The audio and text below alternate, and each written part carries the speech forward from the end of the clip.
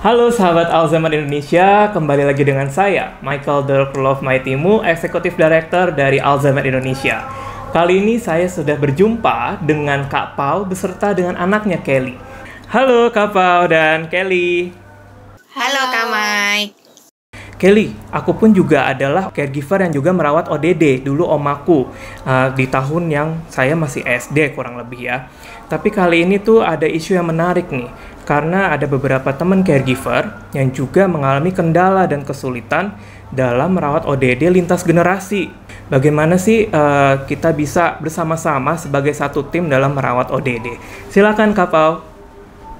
Oke, halo semuanya. Perkenalkan, ini anak saya yang pertama. Namanya Kelly dan usianya saat ini sudah 11 tahun. Uh, saya bersyukur sekali nih karena sekarang Kelly sudah menjadi tim bersama saya untuk membantu dalam merawat uh, mama atau poponya atau neneknya yang dengan demensia. Oke, boleh diceritain nggak Kak Pau? Gimana sih awalnya bisa menanamkan pemahaman kepada Kelly waktu masih kecil tentang kondisi mamanya Kak Pau? Oke, nah aku menjawab pertanyaan Kamai, aku mau nanya dulu nih, Kelly, Kelly kan dari kecil nih udah ngeliat uh, pemandangan sehari-hari mami merawat Popo. Uh, apa yang Kelly rasain tuh waktu dulu Kelly uh, masih kecil? Uh, pas Kelly masih kecil sih Kelly uh, cukup bingung karena mami setiap hari mengeluarkan energi yang banyak untuk menjaga Popo dan eh, nggak uh, terlalu banyak waktu untuk Kelly dan adik Kelly. Se apa? Bermain. Bermain bersama. Ah, bermain ya. Jadi kayaknya kok waktunya terbagi ya. Buat Kelly, buat Dede, sama juga buat keluarga kecil kita gitu. Nah, jadinya waktu dari awal waktu Kelly masih kecil deh ya, Kak Mike itu saya nggak banyak memberikan penjelasan karena kan pemahaman dia juga kurang.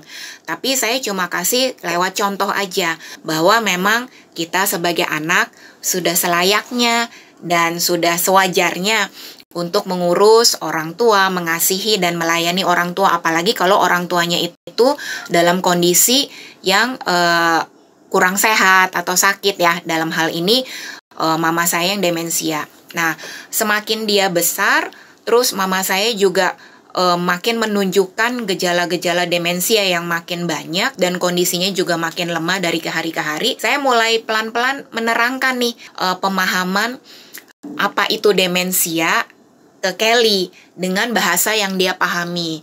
Contohnya yang saya paling ingat, saya cara ngejelasinnya adalah waktu itu kan uh, Popo suka nanya ya ke Kelly, Kelly udah makan belum? Terus semenit kemudian Popo apa? Nanya lagi. Kelly udah makan belum? Terus uh, di depan Kelly nih, Kelly les apa? Nah, terus nanya lagi dalam waktu yang cukup singkat. Terus saya ngeliat Kelly menjawabnya dari sabar sampai nggak sabar. Nah, wajar ya.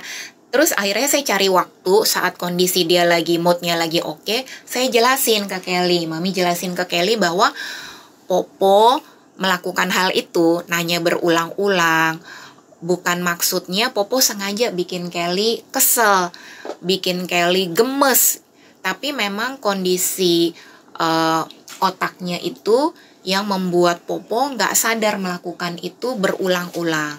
Jadi saya pelan-pelan jelasin dan itu nggak nggak cuma terjadi sekali dua kali nih Kak Mike. Dan teman-teman itu harus rutin kita terangin repetisi kita ingatkan lagi.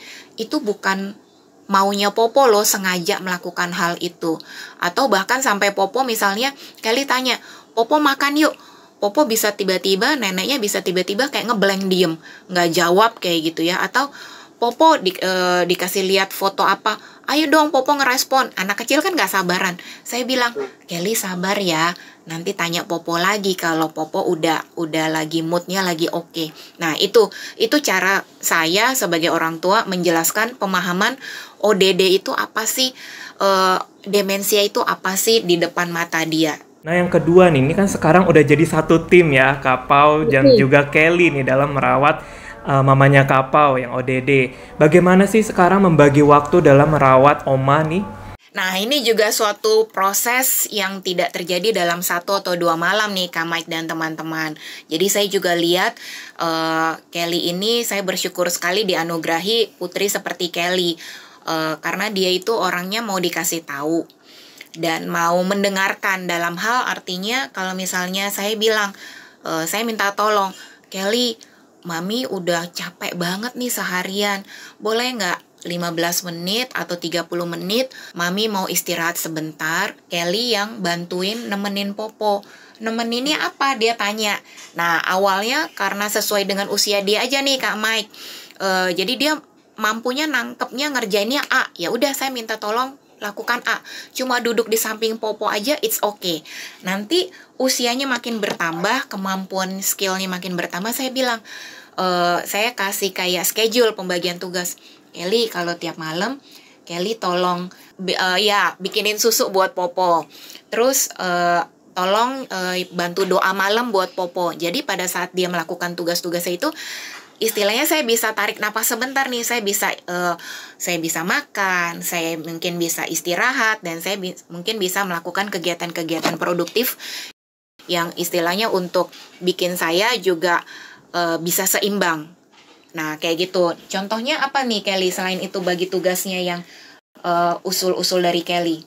Uh, Kelly suka kasih foto-foto album lama Popo karena uh, kalau orang sudah lanjut usia itu kan biasanya memorinya ingatnya yang dulu-dulu. Jadi Kelly suka tanya-tanya uh, terus Ini siapa? Iya. Terus Kelly suka ajak main, terus suka ajak nonton. Wah, luar biasa banget nih pengalaman yang di-sharingkan sama Kapau dan juga Kelly ya. Baik, sahabat Alzheimer Indonesia, tadi kita sudah berbicara dengan Kapau dan juga Kelly di mana ada dua tips nih yang bisa diberikan untuk merawat ODD secara lintas generasi. Yang pertama adalah memberikan pemahaman kepada anak bagi yang belum paham tentang kondisi ODD. Dengan cara apa? Dengan memberikan dia waktu untuk memahami melalui contoh-contoh yang diberikan oleh orang tua selama merawat ODD. Tentu hal ini perlu dilakukan secara rutin agar anak semasa pertumbuhannya bisa memahami kondisi ODD secara perlahan-lahan. Kemudian yang kedua adalah membuat program aktivitas yang bisa dilakukan bersama. Tidak harus secara kompleks tetapi dengan kegiatan yang sederhana dulu. Salam sehat selalu dan jangan maklum dengan pikun.